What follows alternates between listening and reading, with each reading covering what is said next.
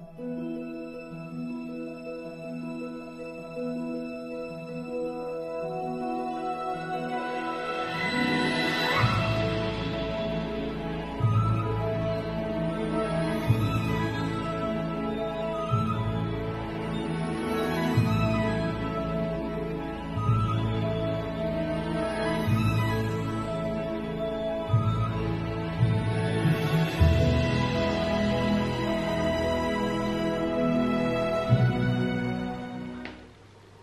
Hello mga best! Welcome back again sa ring channel sa inyong mga bago dyan. Nice to meet you and welcome sa inyong lahat mga best. Maraming salamat sa patuloy niyong panood. Sana nasa healthy, happy, and safe life king lahat. Good luck sa inyo and maraming salamat sa inyo. We thank God for everything and we ask for forgiveness sa ating mga kasalanan and we pray na sana ibalik na ni Lord sa normal ang buong mundo. In Jesus' name, Amen. Shoutout sa inyong lahat mga best. Parang karga ko ang buong mundo. May ganang factor talaga sa hair do, sa style ng lola nyo. Ganyan talaga. Te! Palitan ko nga yan. Ganun talaga. Ganun, ganun, ganun. So, diretso ako sa topic ngayon. So, dami kasing okay-okay best. So, shoutout sa mga okay-okay lover dyan. Good luck sa inyong lahat best. Diretso ako sa topic natin ngayon. So, gagawa ko ng sariling topic uh, base din sa mga karanasin ninyo na sinesend nyo sa akin, gano'n, gano'n factor. So, diretso ako. Ito yung signs na hindi ka na mahal ng mga ka, na ka-LDR mo best. Isa, dalawa, tatlo man ang ka-LDR mo dyan. Kung may mga ganitong klaseng performance, ingat-ingat na kayo dyan. Ihanda mga basura, may ganong factor talaga. So, ito yung mga signs na hindi ka na mahal ng ka-LDR mo. Ka-LDR mo. So, ano lang, kundi lang to best. 8 lang to siya. Kasi, try ko magbasa ng the rest sa comments ninyo. So, the rest tayo. Number 1, hindi na laging nagchat-chat or nag-video call sa'yo. So, pag mga ganon, dati yung mga family nyo, minsan dyan, laging video call, laging chat, nung una, bago pa lang, habang tumatagal, lumalayo na ang lolo. Parang nanghihina na, kunti ng kunti na lang yung time. Pag ganun, bes, wala na siyang masyadong time, nababawasan na yung time niya, hindi na siya nag-video call sa'yo.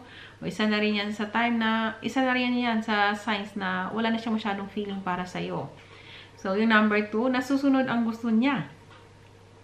Kung dati eh, nakikinig sa mga sinasabi mo, kaya okay siya, nakikinig ng opinion mo, nanghingi ng idea mo, eh ngayon wala na te. Maga, kung anong gusto niya, yun lang yun. Eh, anong gusto niya dyan? Kung may time siya sa'yo, may time siya sa'yo. Minsan nakangiti siya sa'yo, minsan nagagalit sa'yo, ganon. Kung ano yung mga ano niya, ganon-ganon lang. Feeling niya, wala siyang, feeling mo, wala ka ng, kung wala kang space sa buhay niya, siya lang yung nasusunod. Mahirap yun, best. Isa na yun sa signs na nag-iba na yung feeling niya sa'yo. Number three, sinasagot lang ang mga tanong mo. Kumbaga, may message ka sa kanya. Kung may gusto kang itanong, yun lang yung sinasagot niya. Minsan, wala pang sagot. Sinisin lang. Huwag factor. So, wala na. Feeling mo, parang wala na masyadong selbe. Wala na masyadong interest sa mga ginagawa mo para sa kanya. Para sa inyong dalawa. Wala na siyang masyadong interest. Ganun. Kumbaga, nang laylo na. Ganun. So, number four, sin na lang niya message mo. Ganun. Minsan, uh, alam niyang nag-message ka. Minsan, siguro na, na, na-click lang niya. Or talagang uh, tiningnan niya anong message mo, hindi niya time na sagutin, wala siya. Ano ba yan? Ganun niya, tanong na naman niya. Ganun parang tiningnan niya. Ano na nung nagsasabi sabi nito? Baka tiningnan na lang yung ibang message niya. Yung may message ka dyan, tiningnan lang eh. Ayaw niya mag-reply. Wala nga siyang time eh. Wala siyang gana. So, sin lang niya yung message mo best. Minsan may sin din ng message. Depende yan. Kung sin lang niya yung message mo kasi hindi pa niya talaga kayang mag-reply, kasi ano talaga, busy siya. Pero maya-maya, nagme-message siya. Eh, kung talagang sin lang, simula ngayon, umaga hanggang gabi, at lagi siyang online, eh, kakaiba na yan, besh. Ganun. Online siya. Walang message sa'yo. Yung kumbaga, online siya lagi, pero walang message sa'yo. Uh, ganun na lang yon Kasi minsan yung iba dyan, busy na talaga sa pag-search ng iba, busy sa pagkikipag-usap ng iba. O yung iba talagang naka-online lang talaga siya, parang pinagselos ka na or parang parang alam naman niya na may maramdaman ka talaga kasi online siya at uh, wala siyang message sa'yo. Parang ginagawa lang niya yung mga bagay na masasaktan ka, mag-iisip ka, mag-question mark ka. So may mga afam dyan na gusto na, kala, gusto na nila kayong ibasura, bes. Hindi lang nila magawa. So gumagawa sila ng mga bagay na alam nilang hindi niyo gusto. So yung katulad niya, lagi siyang online eh wala man lang message sa'yo. Kasi hindi ka na ganun ka-importante, best. Merong iba dyan, online nga, pero busy talaga. Pero kahit pa paano, humanap ng time para magpaliwanag na hindi ako napag-message sa'yo dahil ganun. Eh, kung walang ganun, best, walang paliwanag, eh, iba na yun, best. Wala ka masyadong silbi pa ganun. Sign na yan na hindi ka na niya ganun kamahal. May time siya sa ibang babae. Ayun, yung number 6 natin. May time siya sa ibang babae. eh, ano, wala ka nang masyadong silbi kasi best. Kung hindi ka, kung ang afam na seryoso at mahal talaga kayo, walang space yung ibang babae sa buhay nila. Wala silang time makipag heart-heart sa message ng iba, makipag-entertain ng iba. Wala silang time dyan dahil nakafocus yan sa'yo. Yan ang mga seryosong afam. Pero pag mga ganitong afam na hindi ka na mahal, eh, syempre, mag-entertain ng iba yan, best. Kasi bakit eh? Hindi ka na nga mahalaga at hindi ka na mahal. Eh, ba't pa siya mag-entertain sa sa'yo talaga. Eh, mag-focus yan sa iba din, sa paghahanap ng ibang babae. Kasi meron siyang nakita sa'yo na hindi niya type at mas, mas may ano pa siya, may gusto pa siyang kulang pa. What you have done is not enough. Kumbaga, ginawa mo ang lahat. The best that you can. Eh, hindi pa rin enough sa kanya yon Kasi hindi kanya mahal best. Ganun lang yung kasimple yon Diretsoin na natin kasi ganun talaga yon So, masakit minsan yun best. Pero, tanggapin natin, ganun talaga ang katotohanan. Huwag niyong ipilit ang sarili niyo sa mga afam na wala kayong silbi. Yun yun, walang masyadong time sa iyo, best, kasi may time siya sa ibang girls. Minsan yung iba dyan, ginawang profile pa yung ex nila. Hello, ganar. Number seven, na feel mo na hindi ka na mahalaga. Ganun talaga yun, best, kasi hindi ka na mahal ng afam mo. Hindi ka na niya type. Uh, ba't mo na ipilit yung sarili mo? Pag ganyan klaseng naramdaman mo, wala ka ng silbi, ikaw mismo, minamaliit mo yung sarili mo wala kang pagmamahal sa sarili mo, best. Pag ganun ang ginagawa mo. Huwag mo hayaan na sunod-sunuran ka sa isang taong hindi ka type. Pag ang lalaking mahal ka, lahat ng time, effort, ibibigay sa yan. Yun ang hanapin ninyo. Ganun yon. So, number 8 natin, pabago-bago ng mood.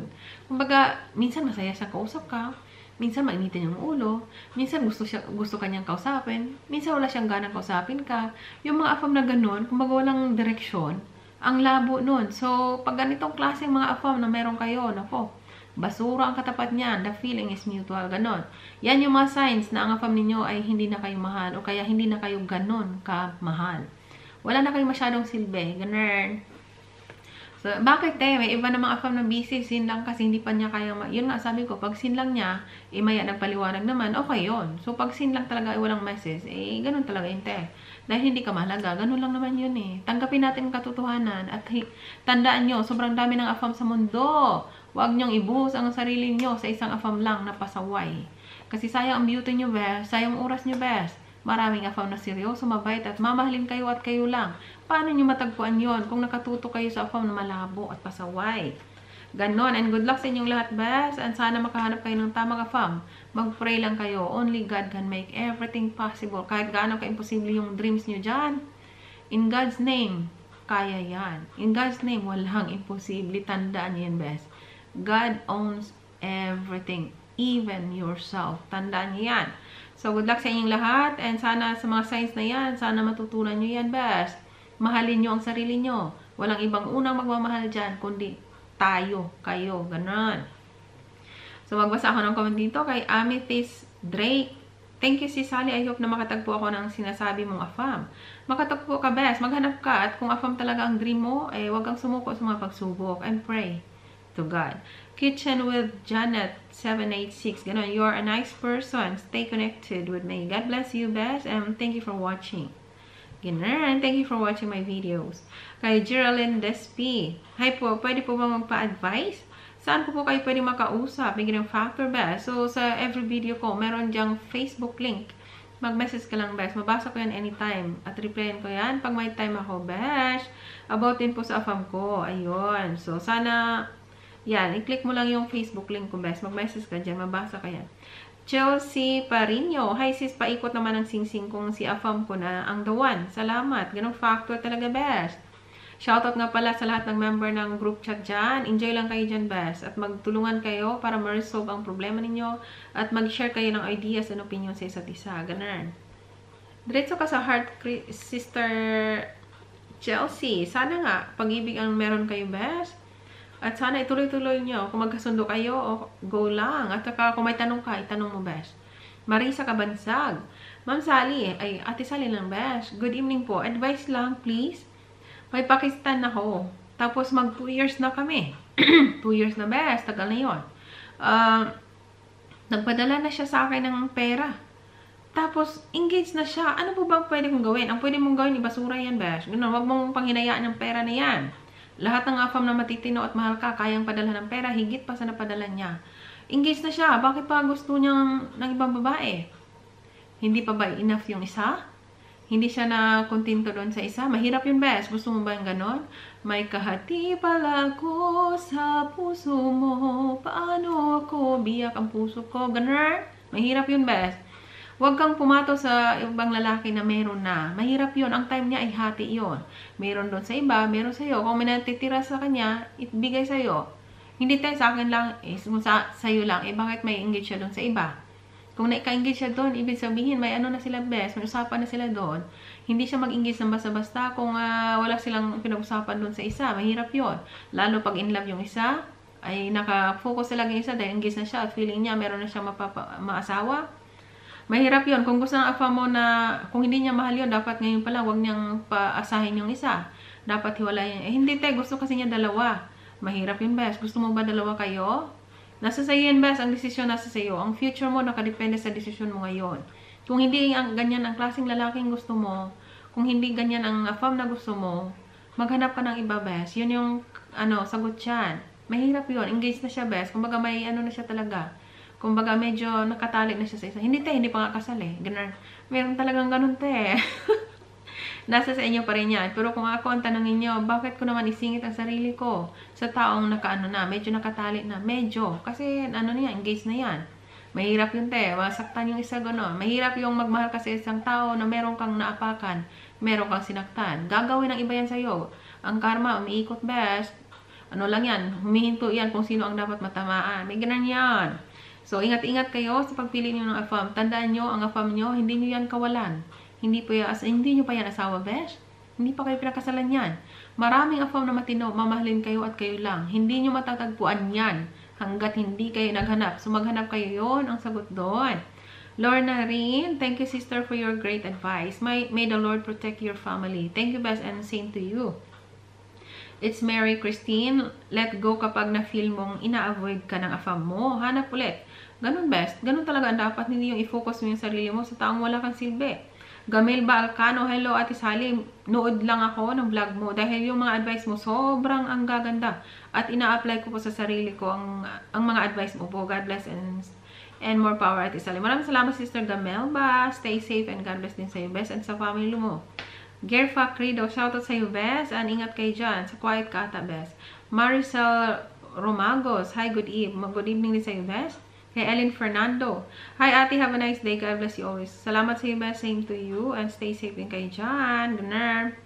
Ganon. Kay Sister It's Mary Christine. So true, Mami Sally. Ako never nangungulit kapag hindi nag-message o nag-call.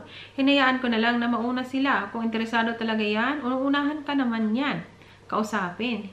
Kung hindi, eh okay lang. Ganon. Tama ang ginawa mo, best. Tama ang prinsipyo mo.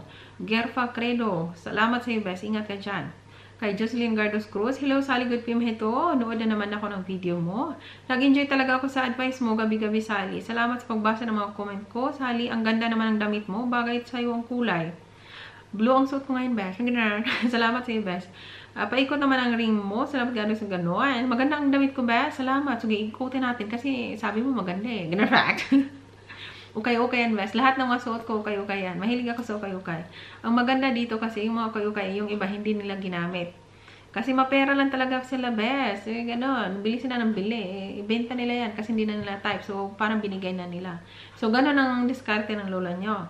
Ganon. Nandito ka sa ano, Bes? Katabi ang broken heart. Nandito ka sa sa star katabi ang broken heart. Pero nasa gitna siya. So, baka broken heart ka before that. So, tuloy-tuloy mo lang paghanap mo. Makatagpo ka ng afam na mamahalin ka. Kay Marichi Bahulo. Shout out from my love, Layli and Ota. Uh, shout out sa love mo best. And Ota, si Le Layli?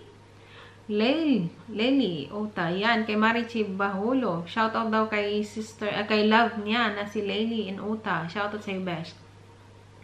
Ayan, Marichi Bahulo. Yes, Ma'am Sally, sa amin ng partner ko for more than 3 years. Alam mo talaga from the way he messages na may problema or he had a bad day. I just listen and give some, some ways to let him feel that I'm always at his side 24-7. Tama ang ginawa mo, best. Uh, best partner ka sa fam mo. Swerte niya sa'yo, best.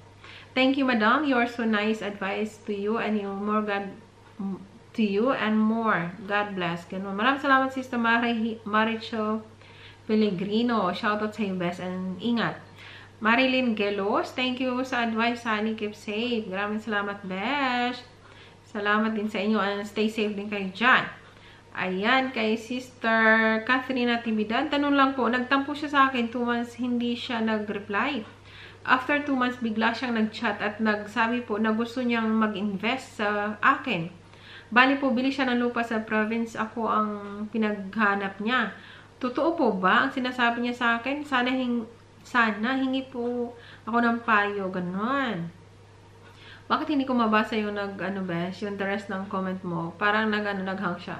So, sabi mo, yung afa mo, bibili daw siya ng, ano, lupa, ganon. Ayan, so, kumbaga, paniwalaan mo lang, bes, kung ginawang totoong sinasabi niya, mahirap na. Maraming afam na kaya sabihin lahat yan, bes, para makuha lang yung attention mo gusto niyang mag-invest, bibili daw po siya ng lupa sa probinsya mo, ikaw daw maghanap, o hanap-hanap pag may time, pero huwag mo focus ang panahon mo dyan, baka hanap-hanap ka, tapos wala naman pala siyang pera. So, kung ano mo lang, pagmasdan mo lang kung gaano katuto ang sinasabi niya, bes, huwag masyadong maniwala, mahirap na, magaling mang uto yung iba dyan, ganon. Lorna Rin, thank you friend for your great advice. Stay safe and God bless more. God bless you more. Salamat sa iyo, best Lorna Rin. Stay safe and God bless then. Kay Diana Kabansa, good day si Sally. Hope you are great day. Tama ka dyan, tips na binigay mo. God bless you all. Salamat, Sister Diana. Uh, Chain Oyama. Hello po, Ate Sally. Good evening po. Maraming salamat po sa lagi mong pag-advise. Uh, sa lagi, maraming salamat po lagi sa mga advice at sa mga tips. Maraming salamat, Sister Chain Oyama. Good luck sa inyong lahat, mga best. I think nabasa ko na lahat. Good luck sa inyong lahat and stay safe and God bless. Sana marami kayong natutunan sa mga videos na nagawa ko. Dahil para yan sa inyo, para mabigyan kayo ng guide, para ma, ano kayo, mag, kumaga, nasa matuwid kayong daan. May factor tayo, tuwid na daan. Bakit eh? Nasa tabingi kami. Ganun. Pero talagang sumasagot siya eh. Yung iba nasa tabingi best. Kasi bakit? Kaya nga humingi kayo ng advice eh. Kasi hindi kayo sigurado. So, bigyan ko kayo ng idea. Base din niya sa naranasan ko best tandaan nyo, bago, yung lahat, bago ko na-meet yung mister ko, lahat ng mga naranasan niyo, naranasan ko yun best. Hanggang ngayon, hindi pa rin nagbabago, nandyan pa rin yung iba, matibay talaga. Yung mga gawain ng mga afam nung panahon ko, ay gawain pa rin ng iba hanggang ngayon. Baga, baka lolo nila yung time, yung time ko, mga lolo nila yon Mga apo na yung gumagawa ngayon. Gina-factor talaga, te. so, good luck sa inyong lahat. God bless and stay safe. God bless.